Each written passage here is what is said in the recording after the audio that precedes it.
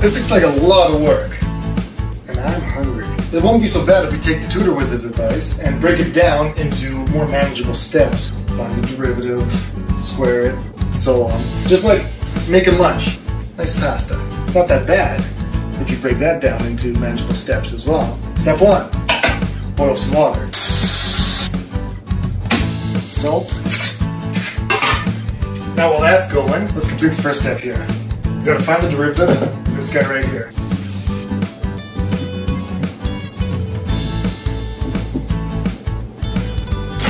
Not bad, one step. Done. Next, let's get the pasta sauce going.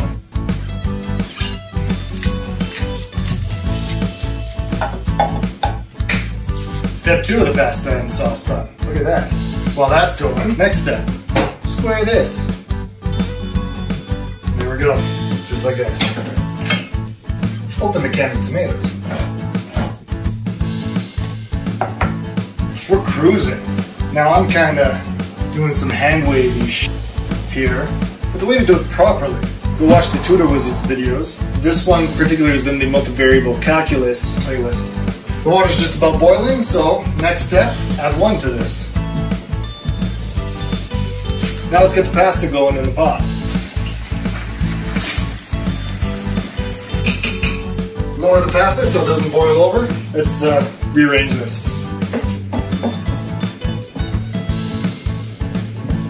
So now we're at this point here, looking a little cleaner. So when we add one, what we're doing is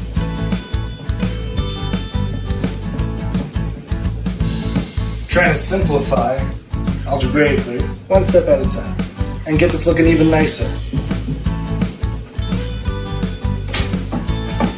Now next step, we gotta season the sauce. A little garlic salt, chili flakes, oregano,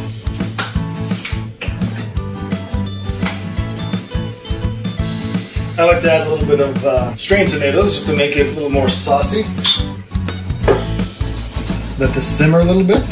And now to finish this off, while the pasta is just about to finish, we refer to a integral table for this last little bit. And we see that the integral is the arc sine of x evaluated at 1 minus the arc sine of x evaluated at 0, or pi by 2.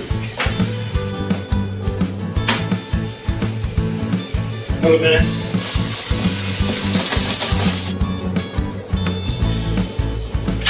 Oh yeah. Now it's time to add the pasta to the sauce. Always pasta to sauce. Stir it in And just like that, we got that figured out. We got lunch ready. Bada bing, bada boom. Got it all taken care of, one step at a time. Thanks for watching. Make sure to like, subscribe, and check out the link in the description for the Tutor Wizards playlist. See you next time.